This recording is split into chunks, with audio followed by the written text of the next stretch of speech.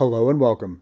Today's video is going to be all about old US minted silver coins and the actual silver weight these various coins contain, assuming they're in good condition. I want my subscribers to be armed with this knowledge in case of a hyperinflation situation or monetary reset environment where people might actually be exchanging these coins for goods or services. Pre 1965 dimes, quarters, half dollars, and dollars are all 90% silver and are oftentimes referred to as constitutional silver or junk silver. Nothing in this video is financial advice. I would like to start out by introducing these coins in the order of silver weight they contain, going from lightest to heaviest. The war nickels were minted during World War II from October of 1942 through 1945.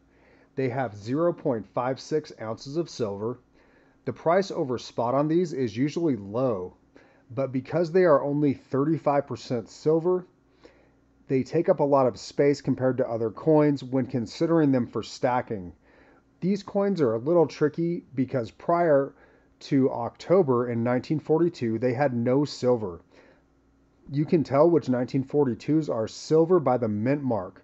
The silver 1942s will have a P or S mint mark. The 90% silver dimes have 0.072 ounces of silver in them. In general, I do recommend the Mercury dimes. They're typically a little less worn out than the Barber dimes. And I do have an example of a Barber dime here for you today as well. The Roosevelt dimes were also 90% silver between 1946 and 1964. Now, a common misconception with these coins is that they are one tenth of an ounce of silver. So just keep in mind that they're a little over 25% less than that at 0.072 ounces per silver dime.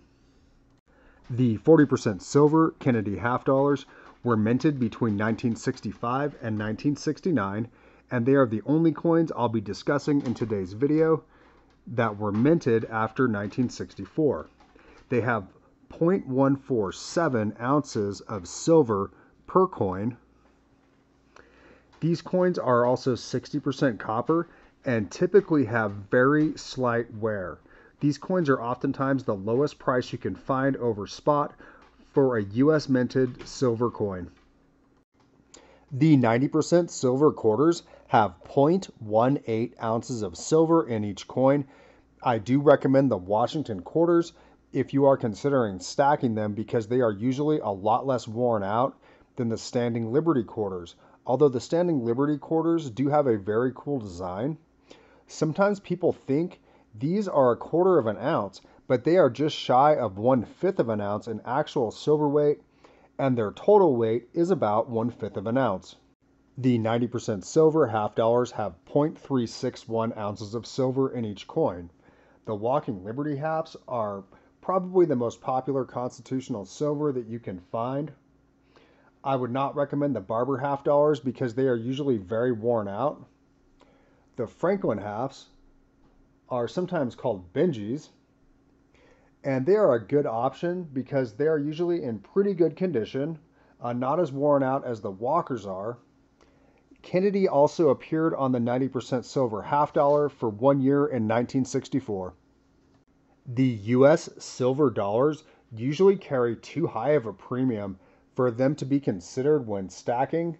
Their total silver weight is 0.773 ounces, so far less than one ounce and oftentimes you will have to pay more for one of these coins than you will for a one ounce silver round. These Morgan silver dollars were minted between 1878 and 1921, followed by the peace silver dollars, which usually are not as worn out as these coins.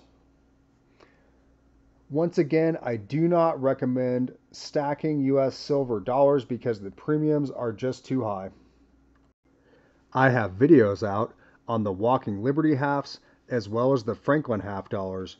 If you would like some more information about those coins, I will leave links to those videos in the description of this video. and I will release videos on all of these various coins over time. Thank you so much for watching. I truly appreciate it, and I will see you in the next video.